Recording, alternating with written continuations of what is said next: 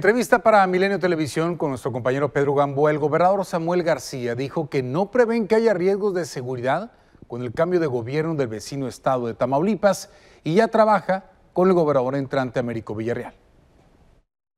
Voy a decir un mito, que cada vez que Tamaulipas cambia de gobierno afecta a Nuevo León por ser vecinos. Yo creo que ese mito lo vamos a derribar. El doctor Américo y un servidor eh, fuimos compañeros senadores y tenemos ya meses trabajando en hacer una coordinación en seguridad.